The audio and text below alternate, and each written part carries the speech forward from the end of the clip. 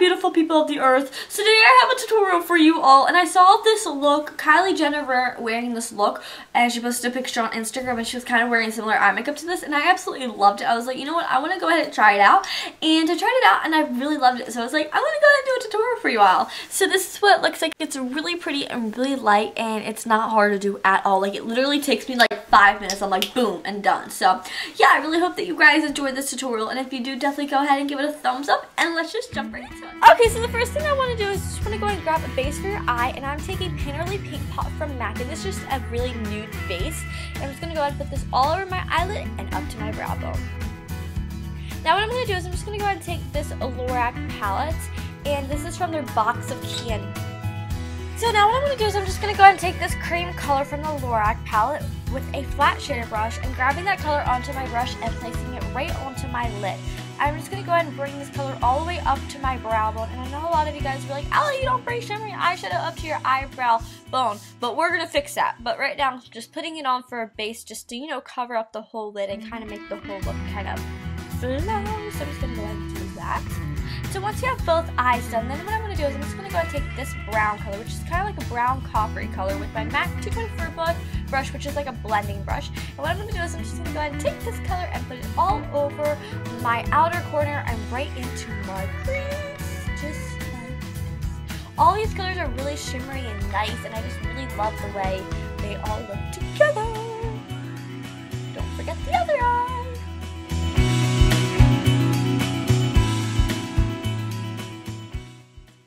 So now just taking this gold color from the Lorac palette also, I'm just going to go and take it on the blending brush and just get it on the front half of the brush. Then what I'm going to do is I'm just going to go ahead and place this color right onto three quarters of my lid. Like you just want like a little tiny bit so it's going to you a glow. Now taking a nude from MAC, which is actually in vanilla, it's a nude eyeshadow with my flat shader brush, I'm going to go ahead and take this color and put it right on my eyebrow bone.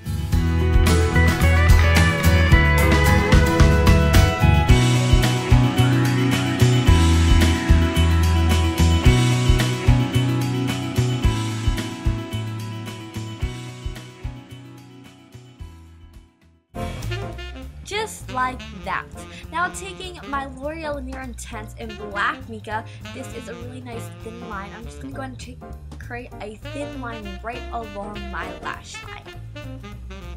And then what I'm going to do is I'm just going to go ahead and wing it out slightly. You want the smallest wing. This is just going to give your eyes a little bit of definition, making them have a little bit more shape. And yeah, so you just want to make like a little wing. As you guys can see, the wing is not big at all. So this look is like really good if you're like, um, don't want to like do like a heavy makeup look, but you still want to have a little bit of like funness to it. This is really great. So I'm just going to go ahead and bring it so that it doesn't look like it just stops. I'm just going to kind of even that out like that.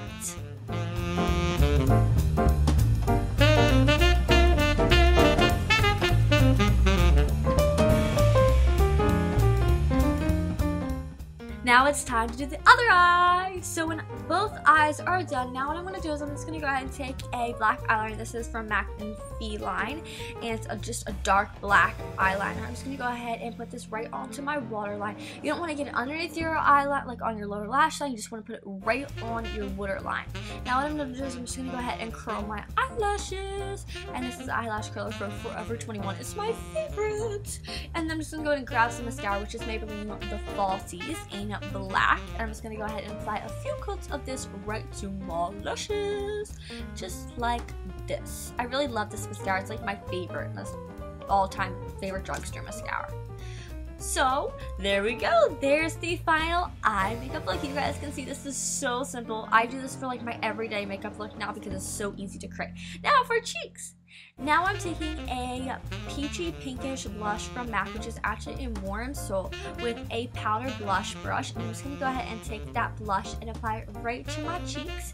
And you just want to go ahead and give yourself a big cheese and apply this right to your cheekies. Now for lips, I'm taking a lipstick from MAC, which is like a nudish pinkish frosted color, which is actually in Crème d'Nude. And I'm just going to go ahead and apply this right to my lippies.